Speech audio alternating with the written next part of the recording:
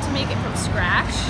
Um, I didn't have to wait in the line, which was nice, but they also had to modify the order because they didn't have the marshmallow whipped cream that we ordered.